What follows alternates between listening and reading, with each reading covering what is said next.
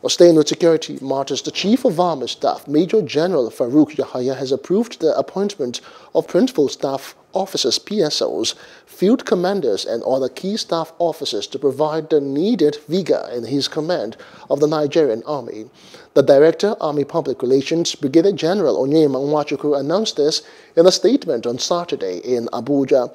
Nwachukwu disclosed that the Chief of Operations, Major General Ibrahim Yusuf, now becomes the Commandant Nigerian Defense Academy, NDA, while Major General B.O. Sawyer is the new Director of Defense Information.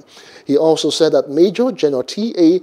Gagariga would move from the Army Headquarters Department of Policy and Plans to the Nigerian Army Artillery Corps as Commander and Major General Victor Ezugwu becomes the Commander Infantry Corps. According to him, Major General M.A. Yekini is the new Chief of the Defense Training and Operations.